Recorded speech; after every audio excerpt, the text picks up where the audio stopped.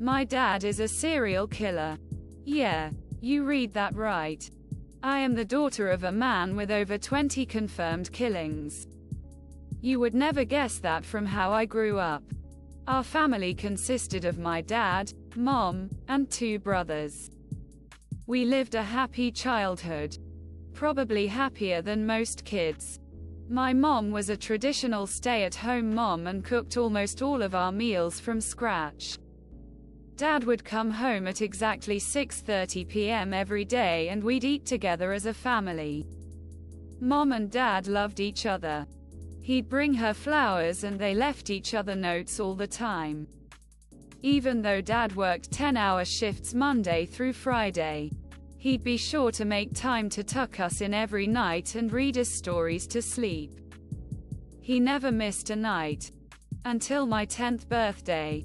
I remember my 10th birthday as if it was yesterday. My day started with mom making me birthday pancakes. She did that for all of our birthdays pancakes cooked with chocolate chips and topped with sprinkles and whipped cream.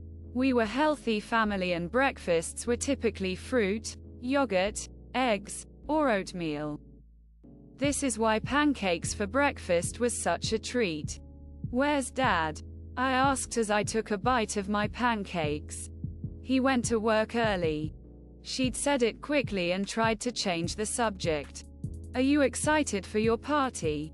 I nodded, mouth still full of my breakfast. I was having a Spider-Man themed party. I loved Spider-Man. Even as a girl, I always asked for Spider-Man themed things. My parents weren't thrilled about it but my bed covers were Spider-Man theme. And I had so many action figures. I was excited to decorate for my party with Spider-Man plates, tablecloths, and balloons. Around 3 o'clock, my friends started arriving. I was excited but I couldn't shake the feeling that something was wrong with my dad. It was Saturday. He wasn't supposed to be at work, but mom had said he went in early. As the night rolled on, I swam, opened presents, SND had cake. I finally got my mind off of my missing dad and watched the Spider-Man movies with my friends. Nighttime came and my friends left. I quickly fell asleep on the couch after an enjoyably exhausting day. I woke up in my bed at some point in the middle of the night. I heard something outside that sounded like metal hitting against metal. Rubbing my eyes, I walked over to my bedroom window and peeked outside. Dad was shoveling dirt into a hole. I watched as he wiped sweat off of his forehead and returned the shovel to the shed. He came inside, and I ran back to my bed.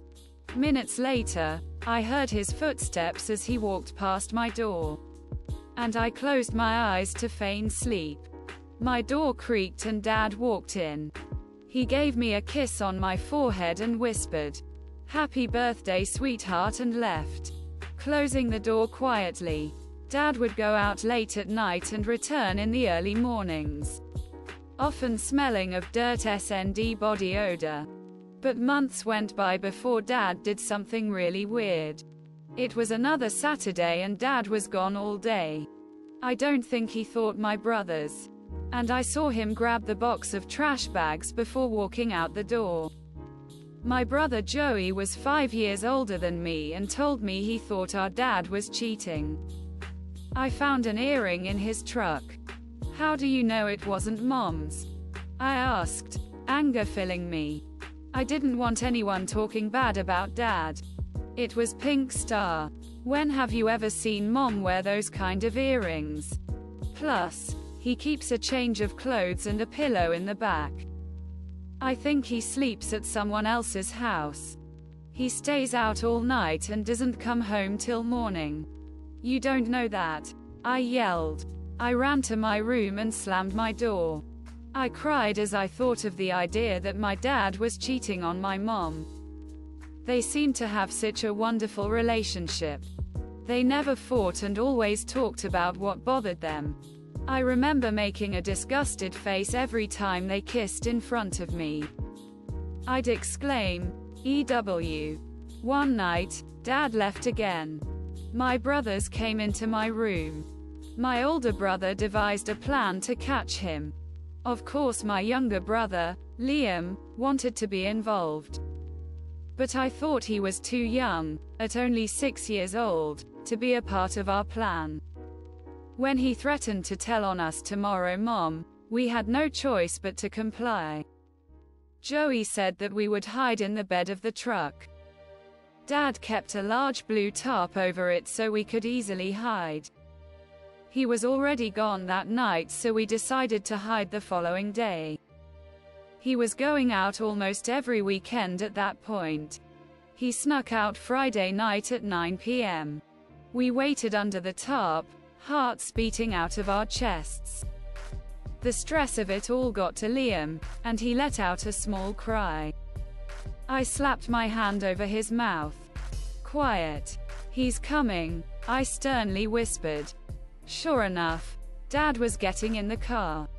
He drove and drove. I guessed it was over two hours before he stopped. When we heard the truck door slam shut, we snuck a peek. We seemed to be at some sort of hardware store, but not the Lowe's or Home Depot that I was used to seeing. We hid and waited. Dad drove for a long time before stopping. All I heard was him getting out of the car and the sounds of shoes on gravel. After being sure he walked far away from view, we peeked again. Where are we? I asked. Joey looked around. I dunno. Looks like a cabin or something. This is fucking weird. Hey, no cursing. I was protective of our youngest brother and didn't want him repeating the bad things Joey said. Sorry, but it's true. I'm gonna follow him. I grabbed Joey's arm. Wait. What if he sees you? Joey shrugged. I'll call him an asshole for cheating on mom. I sat in the bed hugging Liam to my chest. He had tears rolling down his cheeks. We waited for what seemed like years. And then I saw her. I saw a figure running in the darkness. It didn't look human. Until it came closer. It started running to the truck.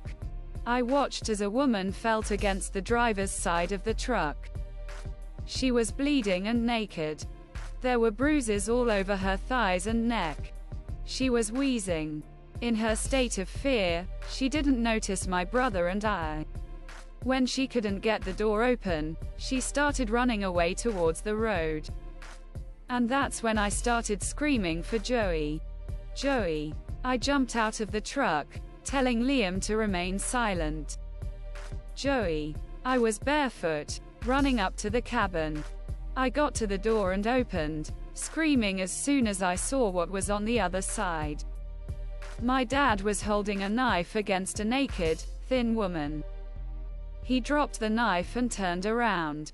Kathy. What what are you? He was cut off and blood started pouring from his mouth. I felt like throwing up. Joey had stabbed our dad in the back. We have to get out of here. We have to call the police. When I didn't move, Joey yelled at me. Get in the truck. We have to call the police. Kathy, go. It finally hit and I ran back to the truck. Thank God this was the early 2000s and my dad had a cell phone. We had no idea where we were. There's girls in there. Kathy. There's so many girls. It's been 15 years and I still wake up with nightmares. It took me a long time but I looked at the crime scene photos. My dad had been torturing, assaulting, and killing girls for years. He kept them locked up in a cabin, with barely enough food to survive. When he first started, he buried his first victims in the backyard. It must have gotten hard to keep that up because the police only found two bodies in our yard. My brother Joey is the reason some of those girls made it out. I still have no idea how he snuck in and grabbed a knife without my dad seeing. He hasn't coped well with the grief. He turned to drugs and alcohol to try to get the thoughts out of his mind. He ended up taking his own life a year ago. This is just a reminder that anyone can be a killer. Even a family man with three wonderful kids.